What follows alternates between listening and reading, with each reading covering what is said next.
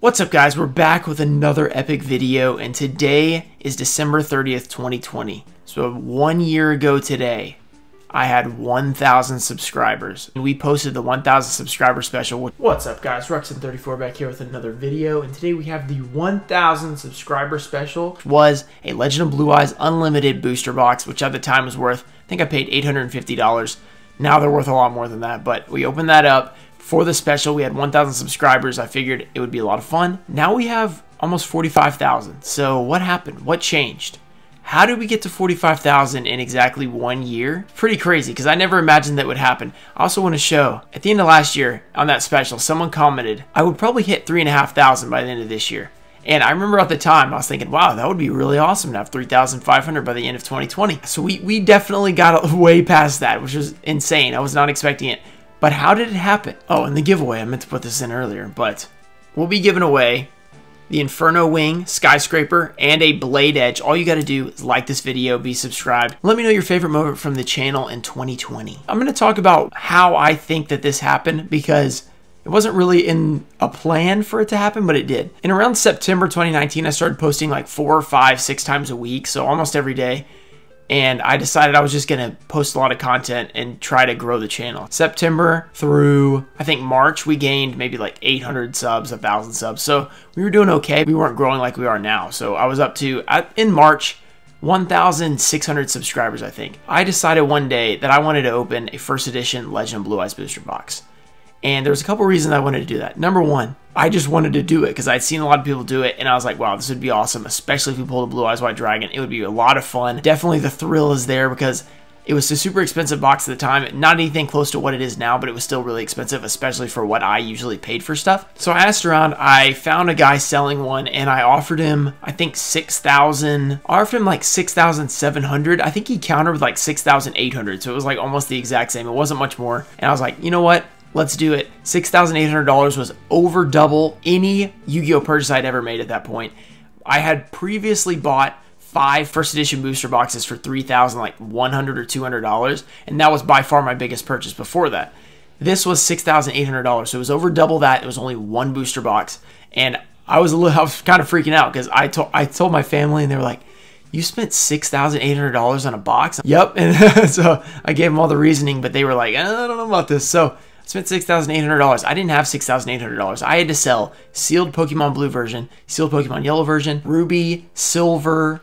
I think that was all of them. So all my sealed games, I sold all those. I sold a PSA 10 Ultimate Rare Elemental Hero Tempest, which for $1,700. Now it's worth way more than that. So and all those games I sold for way cheaper than what they're worth now. I sold three Exodia pieces, a two PSA 9 first edition limbs, and a PSA 8 Exodia head. Sold those for way cheaper than what they're worth now just so I could get the money for the $6,800 and not have to like, you know, dig out a loan or something. And that was like a huge deal because it was a lot of money. And so I, I put it into the box and I was thinking, okay, this is the best case scenario. We pull a Blue Eyes White Dragon. We probably won't, probably pull two limbs. You know, you guys know what happened now, you know, the craziness. You guys will see probably a clip over this. But um, I didn't know that was going to happen. So I, I was like, well, I'm probably not going to make my money back. We're just going to do this and I'm going to try and post this on the channel to hopefully give my channel some sort of traction as well as the enjoyment of opening. So it was like a, a two, it was a win-win for me even though it's probably going to be an L. So it was like an L, but I get it's a win-win, good for the channel. Hopefully, you know, I was hoping it would be. I bought it in January and I announced that I'd uh, open it on the 18th anniversary in March. I held out for a long time. I posted that video. It originally got, I think, like a thousand views in the first day, which was the most I'd ever had on a card opening video. I used to do Duel Links, by the way, guys, if you didn't know that. And I wasn't very big, but I did get several thousand views on a few videos. But when I moved to card openings, I'd never hit a thousand views until that video. So I hit a thousand views on that video, and I was like, wow, this is pretty good. But then it just kind of died, and I was like, oh man, this kind of stinks. So I'm to show you guys the graph of what kind of happened with this video. So it had a thousand views and kind of grew by a couple hundred views for the first, like, I think I posted it on March 9th through March 15th. It had gained 600 more views. So it was at 1,644 views after six days. And I was like, things probably not going to grow anymore. I might as well change the title and mentioned what happened in the video, which by the way, you guys saw it, the last pack of pulled Red Eyes Black Dragon. So before it had been something like Legend of Blue Eyes First Edition booster box opening. I was like, let's change it to include Red Eyes pull at the end, which I know is a spoiler. A lot of you guys hate that, but when the, the video is no longer getting any views, I figured, how about I just put what it is so when people are searching Red Eyes First Edition pull, they'll be able to find this video. So I changed it to that. I was like, yeah, okay, I didn't think about it at all anymore. It was actually like the middle of the night when I did that. I just I just thought, you know what, let's just change it to Red Eyes Pull. It's not really doing anything anymore. I was kind of disappointed. It's like 1,600 views is a lot for me, but I was hoping to get more because I spent $6,800, you know? Then a couple of days later, I think, I don't remember exactly when this was, I noticed I was like, where are all these comments coming from? They're all in the LOB video. Why do I have so many comments?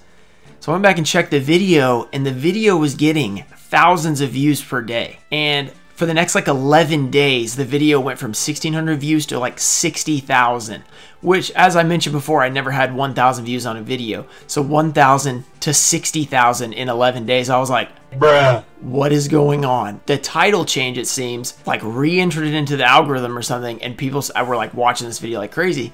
So it ended up going up to 60,000 in 11 days, and it eventually, I mean, it kept growing. I think now it has over 310,000 views now. Then the video pushed out a lot of my other videos, and they kind of got a lot more views and I ended up growing several thousand subscribers just from that video. So my subscriber count get, went way up and basically boosted the channel. So that LOB booster box that I invested $6,800 in, and originally I lost money because my Red Eyes got a 9 and every super rare got a 9. I didn't get a secret rare. Only the Monster Reborn got a 10, and at the time the Monster Reborn was worth like $750. It's worth more now, but at the time it was only worth 750 in a PSA 10.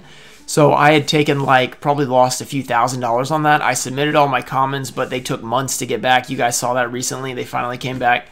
But I lost a few thousand dollars on that purchase. But the video ended up doing so good that it actually changed the channel completely, which was totally worth the loss in my opinion. And then later, I actually did end up making my money back because the values went up and all my commons came back and stuff like that. So I actually did make my money back. Technically, I haven't sold all my hollows, so I haven't actually made my money back, but it was pretty cool. The LB video actually made a huge difference in my entire channel. So now we have almost 45,000 subscribers. We've opened a lot of crazy stuff. We've done other crazy stuff like that since then, like opening the Blue Eye Shining Dragon. We got just lucky to pull it, but we opened some crazy packs. That video did really well, helped gain a lot more subscribers.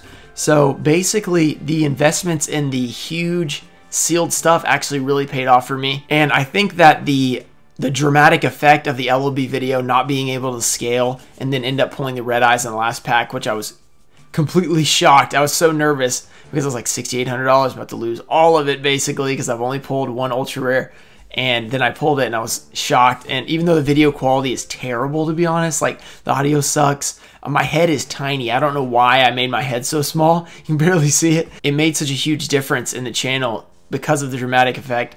All the money, the risk, I think is what made it enjoyable. People were like, oh my gosh, this guy's about to lose his hat on this video, you know? I just thought it was interesting how that one moment changed my channel from 1,000 subscribers to now we're at 45,000 and it's not like 45,000 is like, you know, the biggest channel ever, but it's still pretty awesome in my opinion.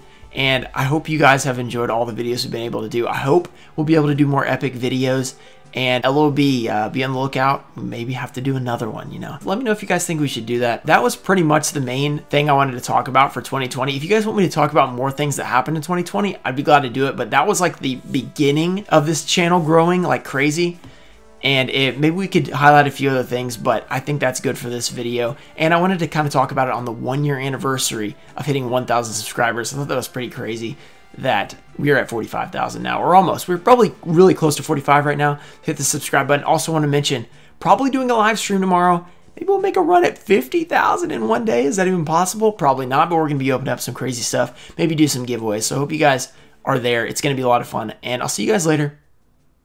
Peace.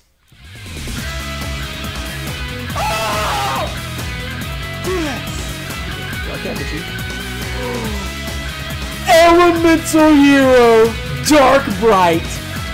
Boom!